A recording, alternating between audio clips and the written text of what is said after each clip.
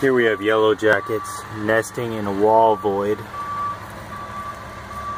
Entering the basement where this plumbing enters the house. I've applied a residual dust here, which they're getting on them every time they try to enter the hole.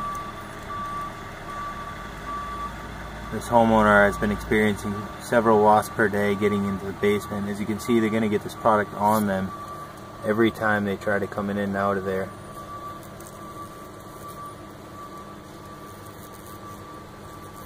And as you can see, it takes effect rather quickly.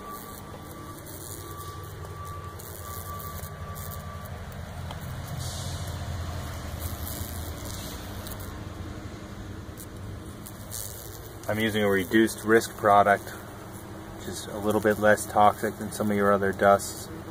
Works just as well. Social pests like this, these wasps will share that chemical as they enter the nest and carry it inside to the larvae.